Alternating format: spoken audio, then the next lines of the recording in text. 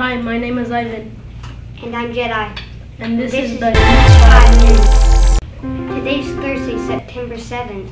Wow, it's really flying by. For lunch today, choice one is French bread pizza. Or choice two, popcorn chicken.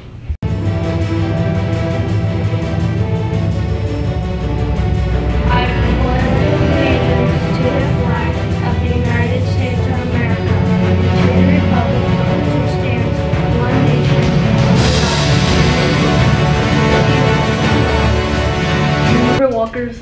Walk on the sidewalks and always look for cars before crossing the street. And car riders, Listen for your name and look for a car. bus riders, sit on your bottom.